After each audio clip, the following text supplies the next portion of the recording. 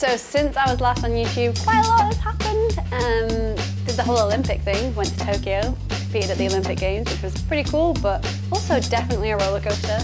Um, came home, got married, got pregnant, had a baby. Yeah!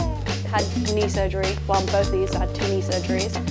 And yeah, went and climbed that dam in Switzerland, which was pretty crazy with Red Bull. And then just been rehabbing and getting back to full-time climbing outside. Finally, been waiting years for this. Coming back from my knee surgery and from pregnancy, I wanted to have an outdoor related goal. And we came up with the idea to try and find the best 57s in the UK. So graded, boulders graded from 7A to 7C plus, so V6 to V10. Um, and try and go to loads of different places around the UK because I've not done much outdoor climbing with focusing so much on competing. So yeah, that's kind of where we're at right now is to go scour the UK for the best 57s. Getting the list of 50 boulders is really difficult and 50 best boulders is even harder because these are going to be what are my best 57s in the UK, which will be different for every person. I think you know, there's going to be boulders we miss out, whether it's because I can't reach them or because my knees can't hack them at the minute, having like having had the two knee surgeries recently. And I think there's also boulders we're not including because they have way too much traffic. We need to be conscious of how much the crags are being used at the minute. Um, and yeah, I think it's going to be hard because there are just so many good boulders to fit in, but we're only choosing the top 50, on my top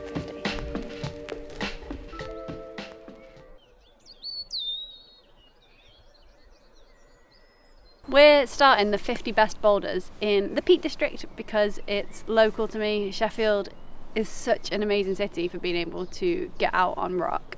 Um, and this whole project is kind of making me get out more. That's my reason for doing it, I think. Today we're at Froggatt, which is about 15 minutes drive from my house, which is pretty cool. So my darling husband has just ran back to the car see if my climbing bag is there because it isn't here. Hey. Is it there?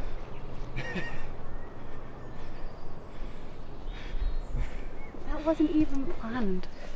I love you.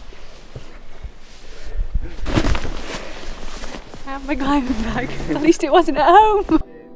So the first boulder today is Glass Slipper, which is this really sharp, cool arete um, with pretty minimal holds and it forces you to lay back and climb really delicately on some quite bad footholds. My foot popped.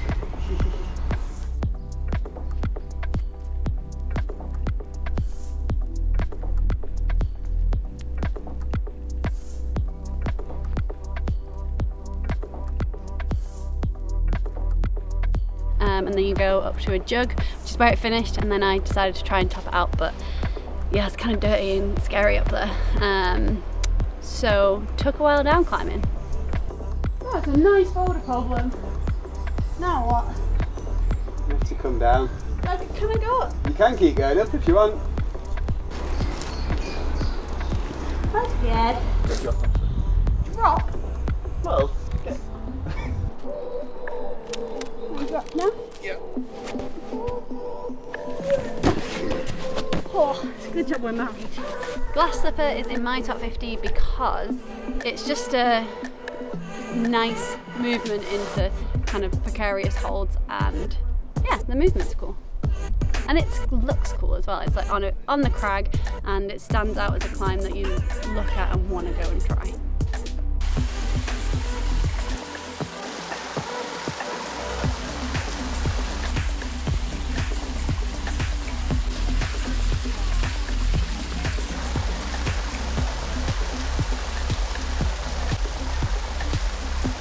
Old King Cascade is this bulge feature, I guess. It's right by the river in a really cool setting, really pretty, um, and then the climbing is super physical. It's all like heels and squeezing um, and a bit of groveling at the top. And it looks like it's going to be quite dabby, so you might hit the rock next to it, but it doesn't climb like that at all. Um, and it's definitely one that's in my top 50 because of the style of climbing and it being so different to, you know, like the delicate kind of balance climbing and it's just super physical but you have to know where the holds are, hit them right, use your feet really well. So you still have to use your body and climb well on it but in a totally different way to arete climbing.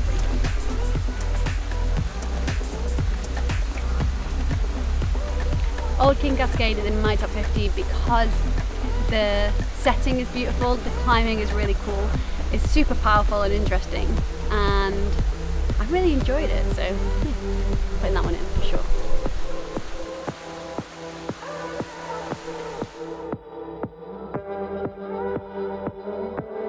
Next we've got Captain which is this climb behind me here. It's weird.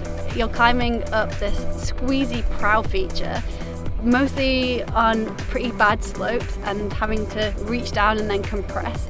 Um, admittedly, maybe sunshine isn't the best time to climb this because it's quite friction dependent um, but it was so fun to climb and took a little bit to figure out the right hand placements and foot placements um, but you can kind of get really physical and squeeze up it I guess similar to Old King Cascade in some ways but this is just no trickery you just have to squeeze and beef your way up it I guess which I kind of like.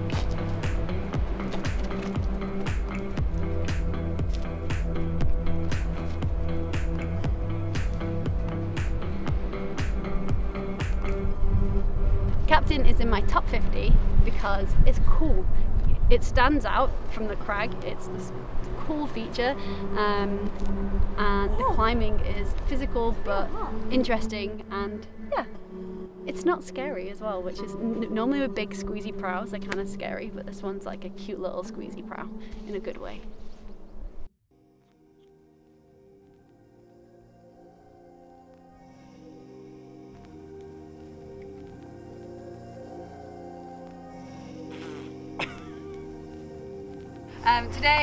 The Eagle Stone, um, which is in Baslow, and it's like perched on top of the crag. It's a really cool location, and the rocks super rough, like quite unique, um, and the climbing style is quite vertical, but really interesting movements.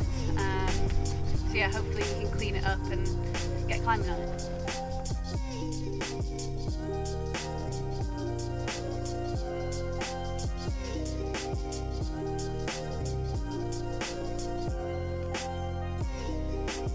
So the climb starts by kind of, you jump on and you're getting on really good feet. There's one good handhold which I pulled on with and had to flip into an undercut. Um, so I had to use one finger to like stand up with it so I could have space for the other hand.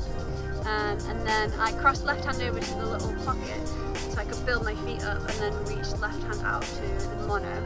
And it's like a like a quarter pad mono. It's really tiny, but just enough to get you in balance. And bring the right hand into the pocket, which is also really bad, but it's all about movement on this boulder, not about pulling on the holds, which took me a little minute to like get my brain used to because it's such a different style of climbing. And then yeah, you're set up for the pounce, which feels really cool but really precarious. And then when I finally went for it after a few goes of being kind of lame on it, um, it felt fine, which was nice.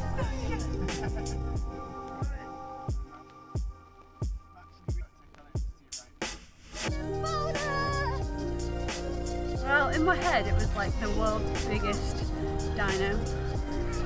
So I hope it looks that way on camera. It's just like the tiniest little pop to a really good hold. And this boulder is in my top 50 because of the movement, I think, more than anything else. Like, it's such a cool rock perched on top of the crag, and I think it looks amazing. But the movement on the climb is so fun and fascinating, and you have to really build your feet up, and it's kind of, yeah, precarious. And then, yeah, the pounce to the slope, which feels cool. Um, yeah, it's in my top 50.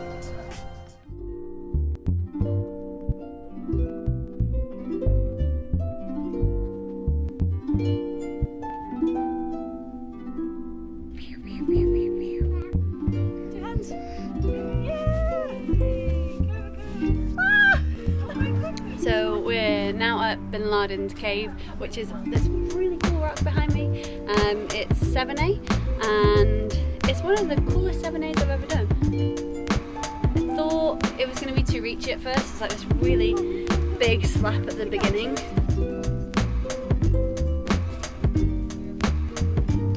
You like build your feet on the scoop, um, off the jug to, I went to a small edge and then kind of edge right up and then slap to the lip.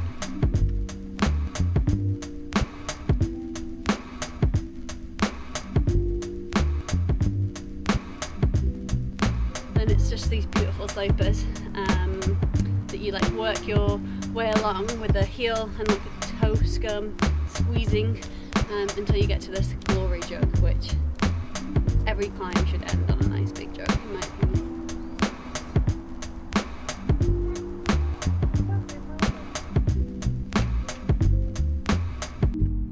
This one is in my top 50 because it's just so cool. Like it looks impressive, it climbs really nicely, and what more could you want?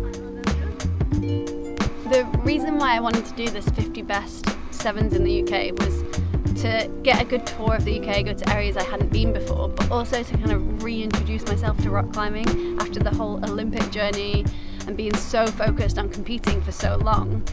It felt like I needed to kind of get my eye in with rock climbing again. So this 50 best was to kind of force me to get out on the days that didn't look absolutely perfect, to get used to going to the crag with a baby and really learn how to go rock climbing again. And the first few days it was I was a little tentative, kind of felt like I didn't know where I stood with rock climbing. I needed to relearn how to climb on rock because it's so different to climbing in the gym, um, and also know where I'm at with it as well physically.